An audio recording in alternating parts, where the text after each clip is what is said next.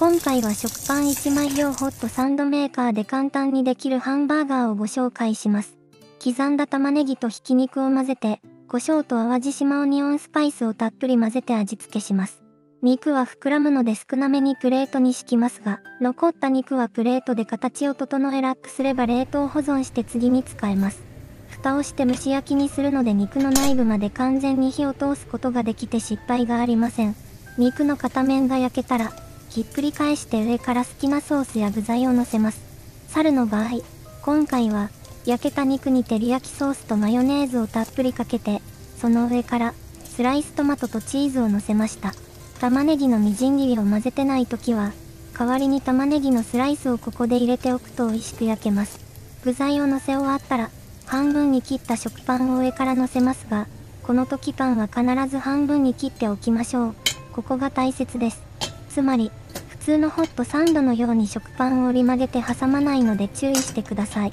肉のもう一方の面が焼けたら、ひっくり返して同じように具材と半分に切ったパンを乗せます。焼けたハンバーグが結構膨らんでますので、蓋を閉じる時に少し肉汁がこぼれます。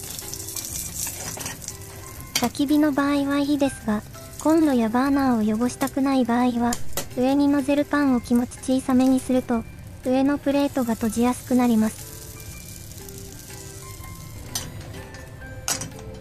パンが膨らんでいる場合も、しっかりと押さえてクリップで固定して焼けば、ひっくり返す時も安心です。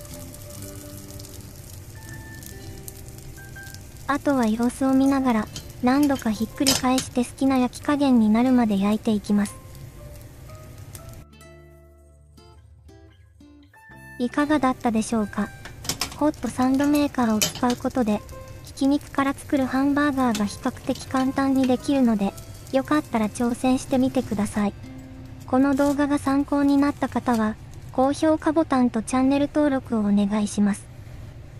猿が使っている淡路島のオニオンスパイスは、堀西とも似た味ですが、玉ねぎの旨味が少し強い印象なので気になる方は概要欄をご覧ください。今回もご視聴いただき、ありがとうございました。